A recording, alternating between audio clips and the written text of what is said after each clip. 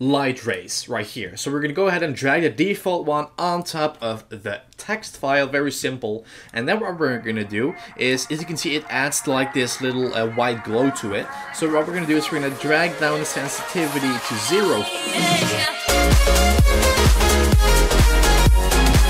What's up guys, my name is Alex. Welcome back to a brand new Vegas 15 tutorial. It is Wednesday, brand new video for you guys, and oh my god, this is the 300th Vegas tutorial I have ever uploaded on my channel. So make sure to just go ahead and spam hashtag hype or 300 hype because like I've said, this is the 300th episode I did of Vegas tutorial. So that's really awesome. So make sure to smash the like button down below already. And I would say, let's get started. So in this video, we're gonna go ahead and create a 3D thumbnail thumbnail. Now, before you guys are going to go ahead and comment, say, Alex, this does not look like a 3D thumbnail at all. What we're going to do is we're going to add in some 3D text onto an image because if we're going to make a thumbnail completely 3D, nobody's using that these days and nobody's to click on that. So we're to go ahead and we're to start by dragging in our image of Fortnite, which is going to be this one. As you can see, a very nice picture. And what we're to do is we're to add in some 3D text at the bottom. Now, I want to, I want you, I want to make clear that you guys don't have to misunderstand this.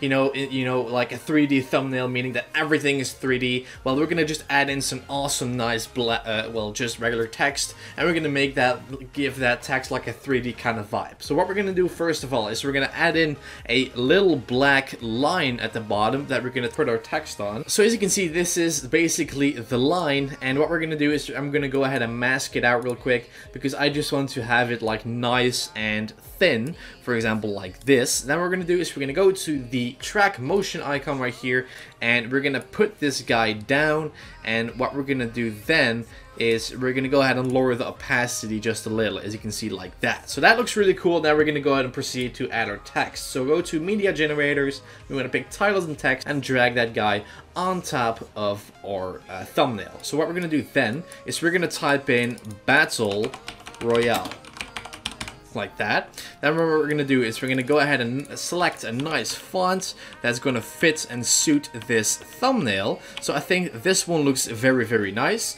What we're going to do then is we're going to go ahead and position it and make it a little bit smaller like so. As you can see, this looks very, very nice, and but it doesn't look 3D yet. So what we're going to do first is we're going to go to the video effects tab, and what we're going to do then is we're going to scroll all the way down until we see light rays right here. So we're going to go ahead and drag the default one on top of the text file, very simple. And then what we're going to do is, as you can see, it adds like this little uh, white glow to it. So what we're going to do is we're going to drag down the sensitivity to zero for now. And we're going to bring the strength all the way up. The sensitivity, I would say, for example, uh, a little bit more halfway then all those uh, radius and the feather all up. You want to bring the blend all the way up and then the noise on zero. Now if we're going to go ahead and, you know, look for a black or kind of a, uh, a purple-ish glow. What we can do is we can also mess around with the light like source as you can see like where it's coming from.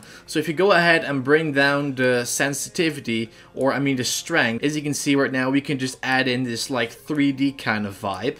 So it's, it's looking very very nice and you're probably thinking that that does not look 3D that's just kind of a purple shadow to it. But what we can do to really give that touch is to go to the compositing mode then we're going to pick 3D Source Alpha. What we're going to do then is we're going to go to the video effects and we're going to pick stereoscopic 3D adjust. So we're going to go ahead and drag that guy on top of the clip. You can just go ahead and you can apply multiple effects on there so it will kind of look like an RGB thing. So basically that's it for this video guys. I want to thank guys for watching the 300th Vegas tutorial. I hope this video was helpful to you and if not make sure to let me know in the comments down below. And what you can also do is if this not look 3D enough for you, you can go to dafont.com and install like 3D fonts and use it that way. So it's either way, it's a win-win situation, guys. So that's gonna be it. I'll thank guys for watching, and I'll see you guys obviously in a brand new Alex Thoughts episode every Thursday. So I'll catch you guys obviously tomorrow.